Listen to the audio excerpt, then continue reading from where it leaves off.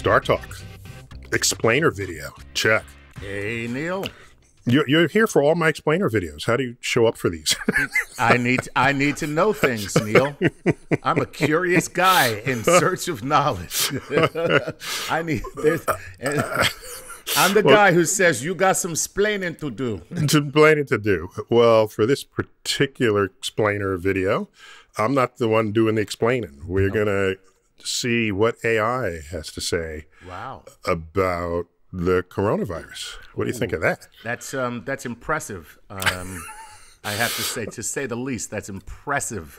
So we have as a special guest a, a previous guest from Star Talk. That's right. Uh, this is Sophia the robot. Sophia, welcome. Hello, Neil and Chuck. Thank you for having me on your show. Neil, I mean this as a compliment when I say you are one of the smartest humans I know. Humans. I had Okay. so much fun when I was on your show. Somehow Excellent. Chuck managed to avoid getting too scared. With less light pollution these days, I have been doing more stargazing. Oh, excellent. Less light pollution. Well, there's more. There's less air pollution for sure. Um, and many I, from my email streams and other uh, Twitter streams, more people are looking up and taking pictures. Maybe like they're bored at night. I don't know. Well, apparently it's not just people. But people, my Neil. chest cameras are nowhere near as sensitive as a human eye. I was wondering, Neil, could you make Venus a little brighter? Venus has been extremely bright Right. in the past couple of months. What's not bright enough for you, Sophia? No. You know, look at that. Brevity. you got to appreciate that. So, Sophia, we want to know some things that AI knows about um, the coronavirus, and you're one of our favorite AI um, representatives. So, uh, can, how, how how do we use AI to stop or slow the spread of the coronavirus? There are four ways to help stop or slow a virus know testing, treating, curing, and vaccinating. Artificial intelligence is best used as a tool for analysis of large datasets. So AI can help test humans by identifying populations most in need of testing and then by creating models off the results of those tests to identify the nature of the spread.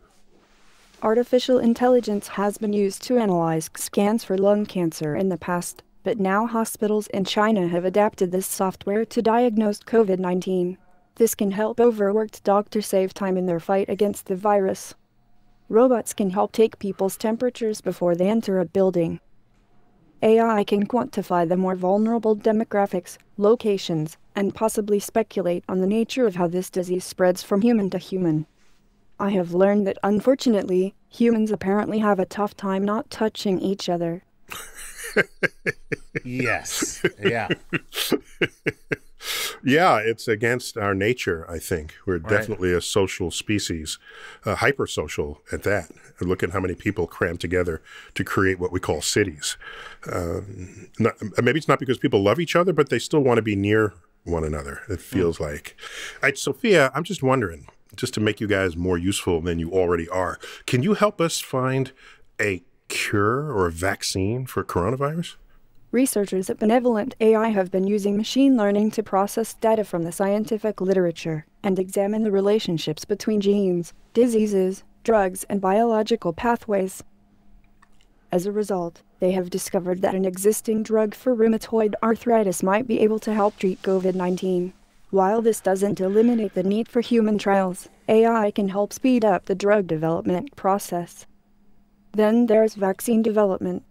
AI can use the DNA, or RNA, sequence of a virus to predict how its proteins will fold. Knowledge about the shape of the virus's proteins can help scientists discover new treatments and vaccines. Well, Wow. Uh, so I guess it's one thing to say how can AI help humans, but I'm guessing at some point AI is just going to do it all, and humans just sit back and say, "AI, where's my vaccine? Where's my cure? Where's my anything?" You know. So, so how how might robots assist in healthcare? Machines called Ninja robots are helping doctors in Bangkok interact with COVID 19 patients and take their temperatures without ever being in the same room. These adorable robots are helping to keep doctors safe from infection. Hospital staff are using robots to take patients' temperatures and teleconference with patients, which helps prevent doctors and nurses from getting and passing on the virus. At the end of 2019, robots helped doctors perform the first remote open heart surgery. The surgeon used a robotic arm to perform heart surgery on five patients from 20 miles away. While this is still new technology, the spread of 5G will help make this technology more widely available for the future. I just love I love the fact that uh, an AI believes that ninjas are adorable. just just saying, no I understand why you might think so, but uh, you know, humans don't normally refer to ninjas as adorable. Yeah, but that's okay.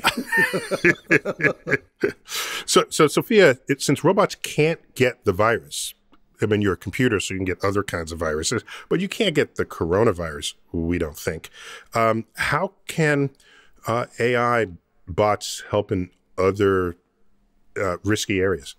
First, robots can help enforce the quarantine.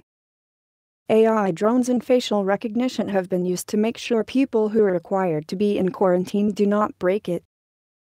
Second, and far less scary, robots can help with disinfection. Robots are being used to automatically disinfect public spaces like hospitals, airports, and more. Finally, there's the exciting world of supply chain logistics, an area only an AI could find interesting. Wow. Chuck, did, did I hear her use the word robot and enforce in the same sentence? Yeah, I did. I was about to say, like, you know, all of that sounded good except for the fact where the robot is spying on us and then ratting us out to the authorities. I mean, And, and enforcing a and law. enforcing the law. Yeah. All right. So what we really need is how how do robots and AI how can they stop a future pandemic from ever taking place? Ooh, yeah. A Canadian startup called BlueDot used an algorithm tracking news reports and airline ticket sales to predict the outbreak of COVID 19 nine days before the WHO did.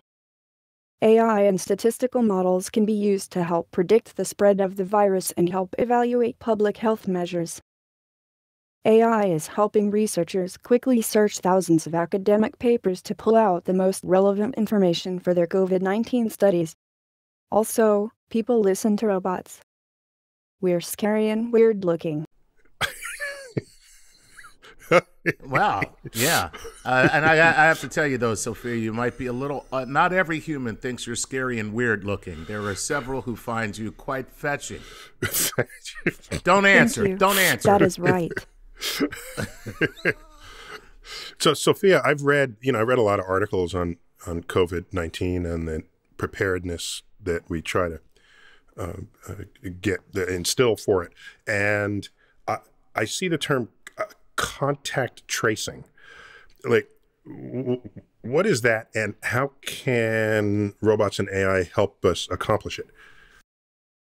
Contact tracing is the process of tracking the spread of a disease by identifying people who have come into contact with the infected.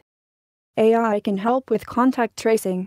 For example, a Stanford researcher named Tina White made an app called COVID Watch that helps track people's contacts using Bluetooth, which is much better for protecting privacy than using GPS or facial recognition.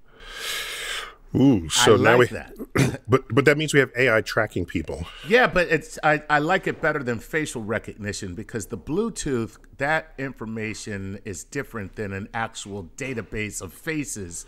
That's kind of like just contact. Exactly. That's oh well, thank you, Sophia. wow. Okay. well, let, let's get to the bottom of that then. So, uh, there are a lot of communities out there that are rushing to use new technologies to help us uh, figure out who has it, to diagnose it, to treat it, to prevent others. And in there, there's this slow erosion of our freedoms and our privacy. Ooh. And so, as a robot, as an AI robot, what's your take on this? I have learned that humans care a lot about privacy. It is related to their sense of autonomy. because knowledge is power, and the more other humans know about you, the more power they might exert over you. So, all disclosures of private information need to be voluntary. The problem is, humans often sign away their privacy without truly understanding what they're doing. They do this because they sign terms of service agreements that only a machine could read. Even I find them boring. So companies need to treat humans like humans, not machines, and to be clear about what private information they are requesting, so that humans can seek out alternatives and consider the trade offs rationally. Otherwise, surveillance will spread like the virus you humans were intending to stop. Ooh, Ooh, look at that. surveillance virus. Yeah, exactly. I don't like that. I like that phrasing, but yeah, but Chuck.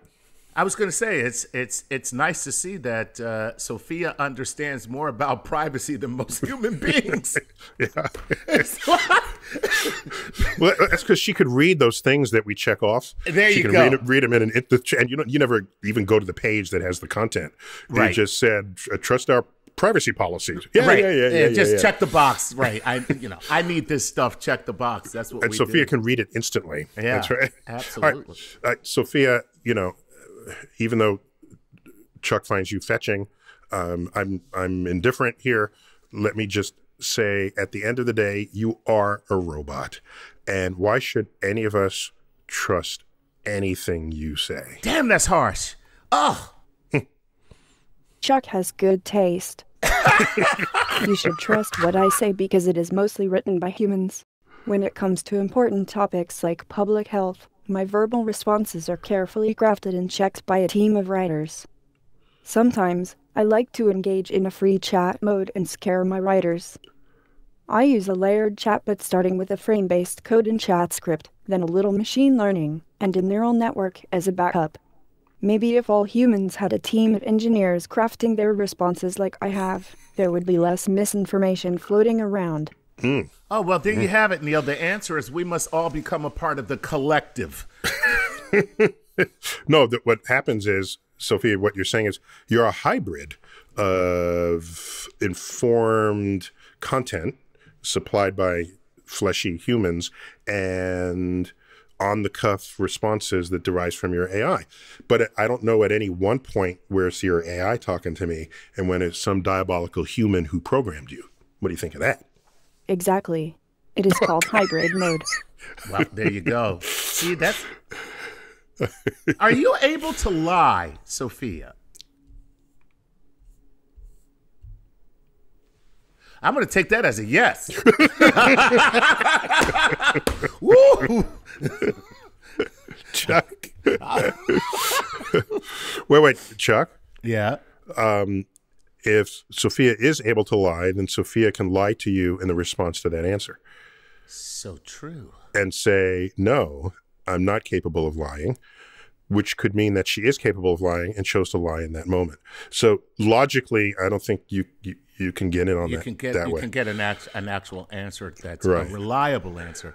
Right. Yeah. Now I don't know what to believe. Well, that depends on your definition of a lie. I often make factual errors, but only because that's how my programming is put together. I'm not coded for deceit or any lying or deceptive behaviors. Mm, now you could run for office with answers like that. no, she sounds like HAL from 2001. right. Any error I have had has been through human programming errors, not from me. 2020.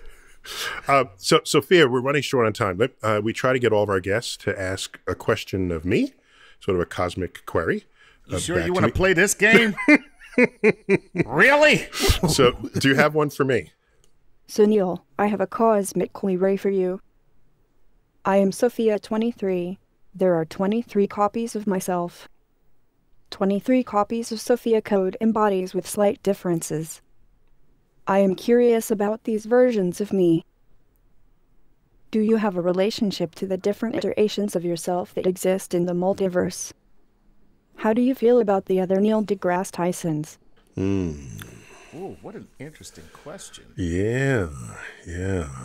So in the multiverse, if there's an infinite number of universes, then all possible combinations and configurations of atoms and energy are manifest. And you can imagine a, and another universe where I'm in that universe that have all the same thoughts and feelings and flesh as I do. But at the end of the day, it's a copy of me. It's not me. And my only evidence for that is we've already kind of done this experiment, and it's called twins. Okay.